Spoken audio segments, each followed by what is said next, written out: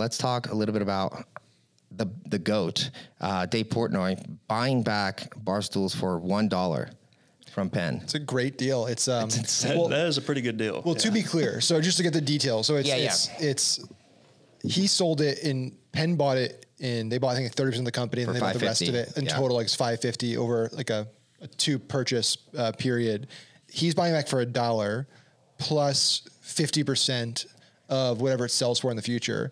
So it's not a terrible. I think a lot of people are saying like Penn is a terrible deal, but, But it's like it, it is because if he never sells, he doesn't have to do it. If he does, he does have to give fifty percent of that sale Yes, to Penn. and I'd imagine at some point, Portnoy, eventually, He will he's just great at building a media company. He's going to get bored, want to do something, he'll sell it. But it'll be a nine figures or a bill. Yeah, so they'll they'll they'll likely ROI on it, Penn in the long run. Well, and they, then they, they projected that they lost 800 to 850 million with this deal. But at the same time, they made a deal with ESPN that will make them billions. yeah, and uh, in the deal, at least. A, some guy did a, I forget his name. I, I hate that. I, I forget it. Did a really good thread on like the deal structure. Yeah. And I know some of the parts of it were that he, um, like Barstool can't do their own book. Yep. They can't work with any other book advertisers.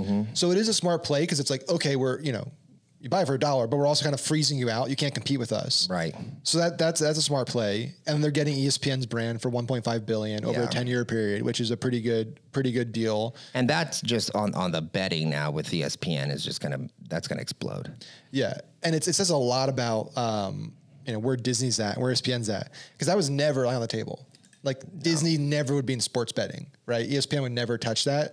But it's like they're just they've been bleeding for so long that you know Iger's like it's you know either we're gonna sell it, some we're gonna have to sell this or do something because it just there's a lot of parts of Disney right now that aren't working, and that's that's a big big part of it. And sports betting is just you know mass. It's a no brainer. It's like your ESPN. You need to be in in sports betting. Yeah, hundred percent.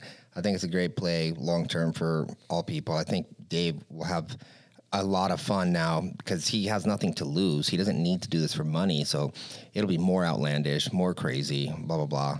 you He's know. living like Dave Portnoy is like most guys, right? Like when they're teenagers and stuff, like wish they could snap their fingers and say, like, when I grow up, Yes. this is what my job to be. Yeah. It's what Dave Portnoy does on a daily basis. His Yeah. job, his lifestyle, all of it. Like, yeah, he just, like Yeah, no- runs a giant sports company, media company, talks shit. Like it's- reviews pizzas for fun, Yeah. and he turned it Yeah. into a thing. Like, yeah, he's just having the best time of his life. He's even trash talk. I don't know if you saw his first tweet the day he went back Yes. to the office and just literally called out like oh, it bunch of was employees seventy percent of by everybody name. was empty. Yeah. and he's like, "Where's this person? This person? This person? You guys, you know, you're not good enough to like."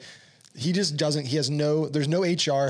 There's he doesn't no- care, and he he'll continue to get away with it. Yeah, he said so. Penn had a whole thing like, you know, if you're having problems with someone in your office, whatever, like there's a place you can discreetly say it. He he did a video. He's like, that's not gonna happen. If you have a problem, you're gonna snitch to somebody. You're gonna do it in front of their faces, and we're gonna go live. We're gonna make content out of it.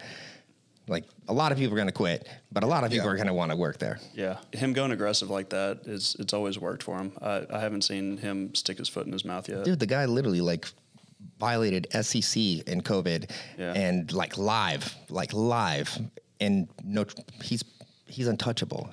So now you you have uh, if you have X, if they weren't so deep in debt, by Barstool. Can you imagine Elon and Dave Portnoy working the same in the same building? Mm. It would just be the the craziest workplace in the history of workplaces. Yeah, Dave would probably be like, "We got to shoot this. We got to make a pot about it." yeah. No, he That'd be so much fun. I think he could convince Elon if they ever did, and be like, "Let's just have a pod together." I don't think so. I think they're they're on totally different brainwaves. I, don't, I, don't, Man. I don't even think they would be able to hold a decent conversation. I think they could be friends. I think I think he would be better than Zuck with with Dave. Yeah. But I know Uh, Zuck's yeah. got a lot of training, not just on jujitsu and stuff, but on being a human being now. I think he's kind of Yeah. He's gotten better. he's on- not on mastered being a human, but he's No. he's He- he- more he fluid. Blinks, he blinks now. Like Yeah. that's yeah. Yeah, he uses different sunscreen. Yeah. Yeah.